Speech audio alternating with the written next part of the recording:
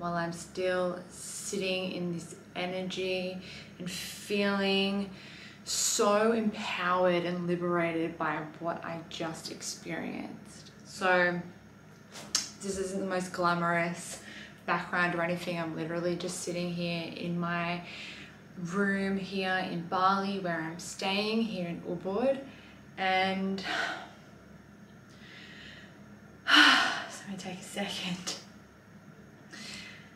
Tonight I went to an event and it was a shadow dance event. Basically it's the same as an ecstatic dance, okay, but it was hosted by a DJ. Um, his name was Toltech and it was, I will just say this, the most incredible DJ set that I have ever experienced in my life.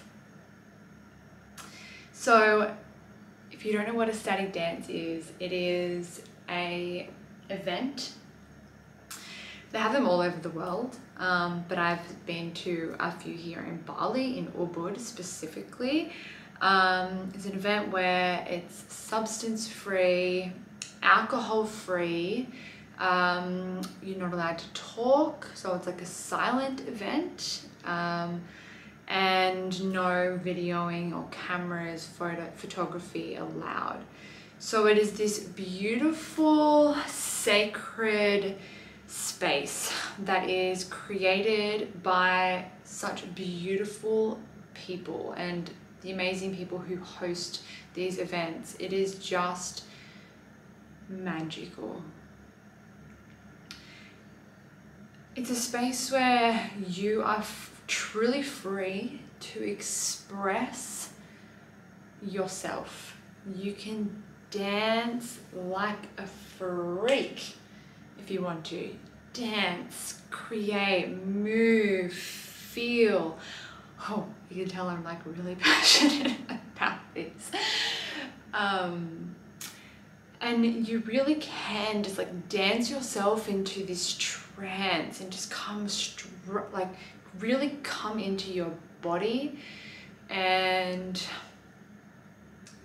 the experience that you can have on that dance floor is like no other. Now, I would just like want to talk a little bit about my experience tonight. So I actually like tonight, today's Saturday, and I did an ecstatic dance yesterday as well. So last night, Friday night. Um, so two nights in a row because it was just so juicy and good. But tonight in particular, the music was out of this world, firstly. And there was just something about tonight. I just felt like I was taken on a journey. I was just transported through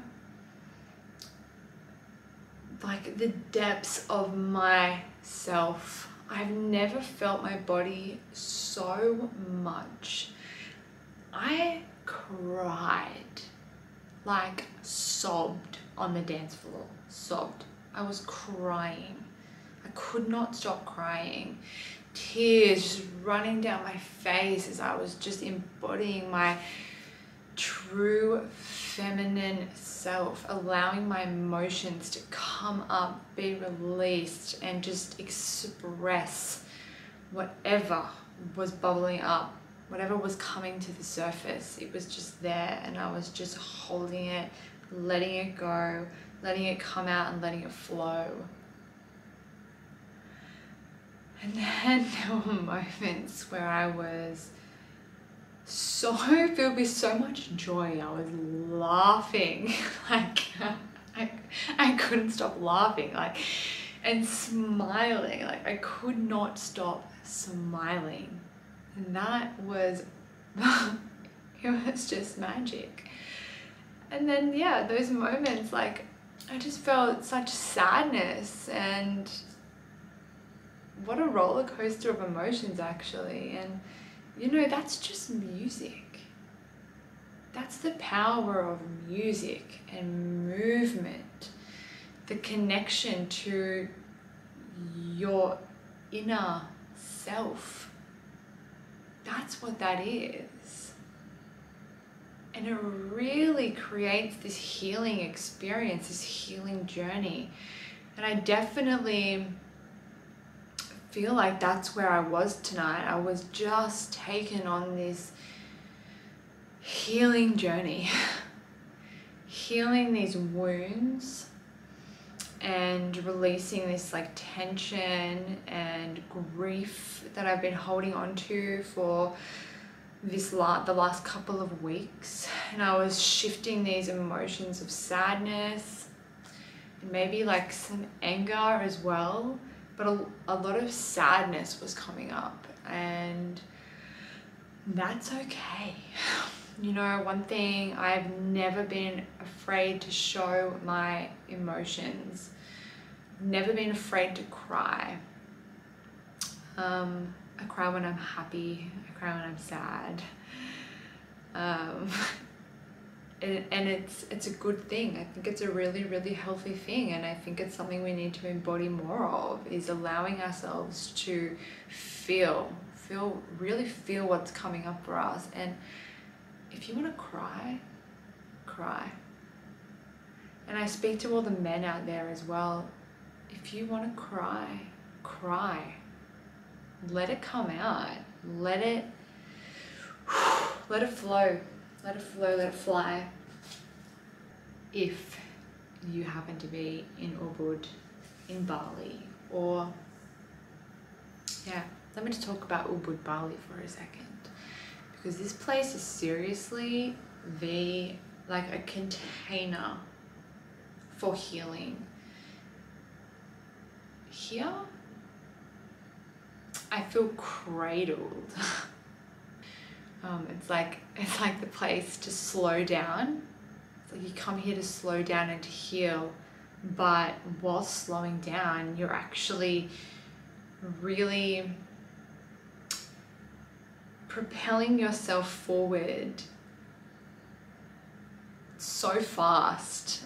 Like you're moving so fast towards whatever it is you're calling in or manifesting, you can move so fast towards that space, towards that version of you. I have received so many answers about my purpose. I've had so many aha moments, synchronicities. Um, it's like the universe is just giving and giving and giving, and I am so open to receiving. And the fact that I am sitting here right now filming this after the night that I have just had.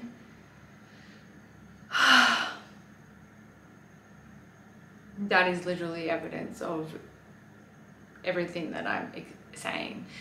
So the DJ tonight actually said at the end of his set, he never would have thought that four years ago he would be doing what he's doing now. And he said to us all to, not his words, basically to not hold back from fulfilling our purpose and doing the things that we are really being called to do and he invited us to do it and do it now. Now is the time to share your gifts with the world. I'm pretty sure he did say those words exactly. He said the world needs your gifts now more than ever. And he's so right. Okay. That'll do. I should have a shower right now because I definitely look gross. And that was very, very sweaty on the dance floor. Those hips don't lie. Alright. Peace.